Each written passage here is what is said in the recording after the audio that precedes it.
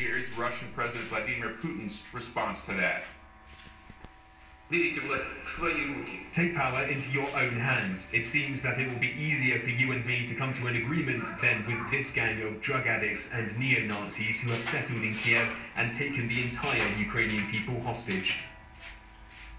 Those bitter and scornful terms really not leaving much hope for negotiations at this point. In the meantime, overnight, another civilian apartment building hit by what appears to be a missile.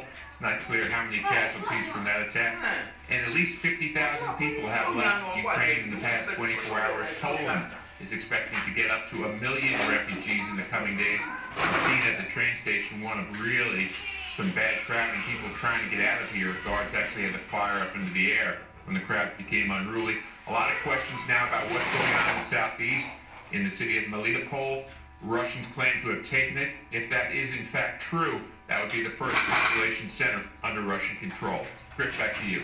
And that would be very significant, Steve, because uh, we are preparing for what could be a very difficult situation to watch, and that is the really civilians there in Ukraine dug in to try and fight. The, the resilience uh, and, and message coming from Zelensky to his people to resist the Russians is obviously very apparent and even impresses the folks at the Pentagon are getting a sense that we're possibly going to be in for a tough fight. Yeah, and after uh, several shelling now in the distance. Appears to be about five or six miles off to my west, so it might be starting off again here today. Griff, back to you. All right, Steve, stay, stay safe. Steve here again, live for us in Kiev. Thank you.